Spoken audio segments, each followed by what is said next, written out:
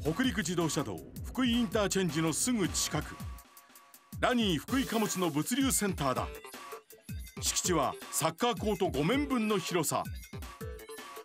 こちらが福井県内外に向かうトラックが荷物を積み込むトラックターミナルとなっております。去年完成。一般貨物。冷蔵品。危険物。国際貨物のターミナルを同じ敷地に集約しているこうした拠点は県内では初めてだ。例えばこちらは冷蔵倉庫。広さは県内最大級です。4度に保たれた倉庫では国内2大乳製品メーカーの商品を保管しております。ライバル関係にある乳製品の2社が同じセンターを利用するのは全国でもここだけ。どうしてもこの倉庫を利用したい。ある理由がある。こちらは物流オペレーションルームです。中のシステムはメーカーの営業部門と直接つながっています。在庫状況など商品情報をメーカー側と共有することでよりスピーディーな配送が可能になった。車両の位置をリアルタイムで把握できる最新のクラウドシステムも導入している。集荷保管情報管理そして配送まで。物流のワンストップ化を実現しているのだ。ワンストップであることによってですねなるだけ物を動かさないで高品質な物流サービスを提供する。ラニー福井貨物の特ダネ。成長の鍵はワンストップ。経済の大動脈物流を通じて社会を支える毎日の朝礼。出てくるかなってだろう運転をし続ければまあ事故がなくなるのかなと。創業94年。福井県内で最も歴史ある運送会社だ。たった1台のトラックからスタートしたというが今では従業員はおよそ530人。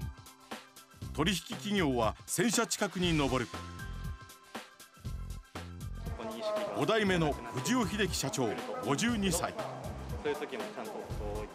以前は東京の大手製薬会社で営業やマーケティングを担当していたが結婚を機に妻の祖父が当時会長を務めていた福井貨物に入社。運送物流の世界は初めてだったのであのちょっとそういった不安ありました。ただあの調整したいという気持ちが強かったですね。しかし社長就任からわずか2年後社会は大きく変化する。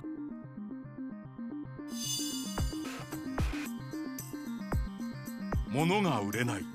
つまり運ぶものがない。経済と物流は表裏一体。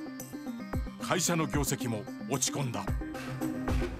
20%ぐらいダウンしました。ただですね、まあ、あの新しいセンター構想というのもコロナ前から進んでましてあのこれチャンスになるだろうなというふうに思ってました。その通りピンチはチャンスだった。物流拠点をワンストップ化することは未来への成長に欠かせないエンジンになると考えたのだ。